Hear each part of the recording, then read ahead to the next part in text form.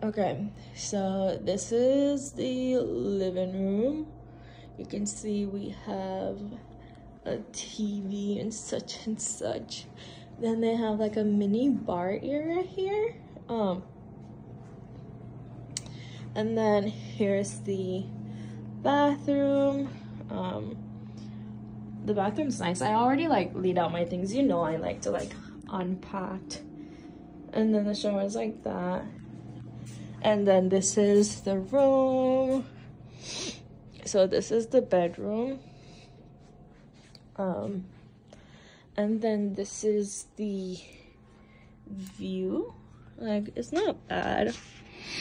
Um, we have a little like coffee place there, so. Oh, and then there's this mirror. Because we're cute. Welcome to my hotel room. I have my closet, my dresser and TV.